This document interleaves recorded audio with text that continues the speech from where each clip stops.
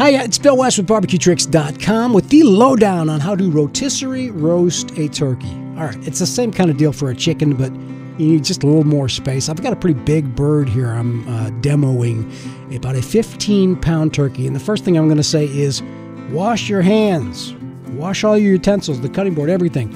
Get everything really clean. You're dealing with poultry and you don't want to deal with any bacteria. Uh, use hot soapy water. And I got to say, there's just something about a rotisserie turkey. It's something to rave about. And there's only about four ingredients. You first start with a clean bird, and then you rub it with basically a house seasoning. Rinse that chicken inside and out with cold water. Get the giblets and excess uh, funk out of the inside. You can prepare those if you want. I don't really use them for barbecue, maybe for crab bait here in South Carolina, but not for barbecue. Pat the chicken dry inside and out using a paper towel. Uh, then get the spice rub. About two tablespoons kosher salt, half a tablespoon fresh ground black pepper, and I actually like to grind it. Uh, half a tablespoon garlic powder and half a tablespoon paprika for some color. That's the basic house seasoning. Then rub it inside and out of that bird generously. Uh, I'm trying not to put too much salt inside, but you can put it underneath the skin all the way. I mean, this one's pretty big. You can use a lot all the way inside, underneath the skin. You can actually get down to the legs as well.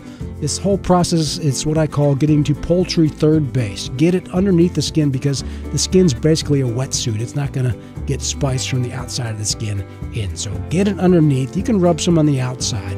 And if you want to even inject it, my trick is to inject from the inside of the cavity into the meat so you don't disfigure the skin at all.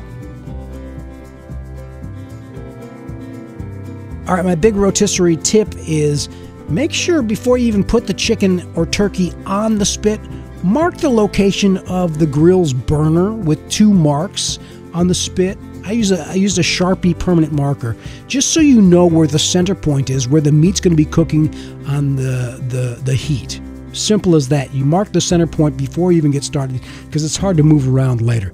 You can find rotisseries made for both gas or charcoal grills. Follow your manufacturer's directions, of course. The biggest thing is you want to make sure it rotates freely on the spit. You want to spin around in a nice balanced way. You may have to truss the legs in. I try if I if I if I can not to have to truss it, I'll actually skewer it in with the end clamps of the wingtips and the legs if possible and really clamp it up tight so it's a nice compact mass and rotates smoothly.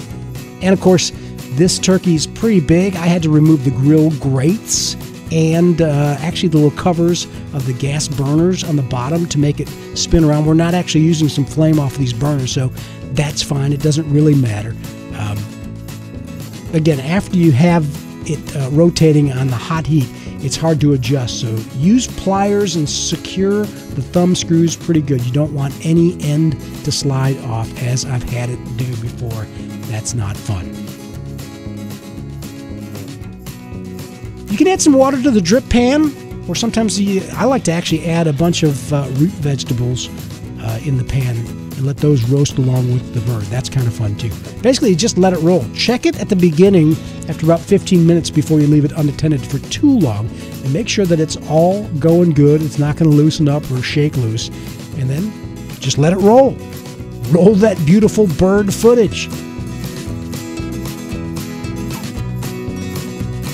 For a medium sized chicken, you know, one I tried was about four and a half to five pounds. That took about two hours of cooking on this uh, grill gas. This is a 15 pounder, and all said and done, it took about five hours. But check it when it gets golden brown. Keep checking with a good meat thermometer.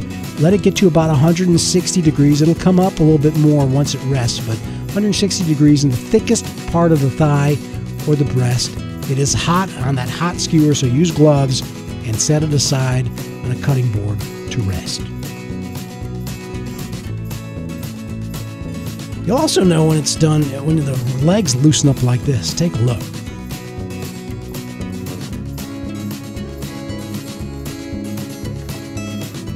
It's just nothing like the skin from a rotisserie roasted bird. Look at that. Set that aside here, and uh, that's it.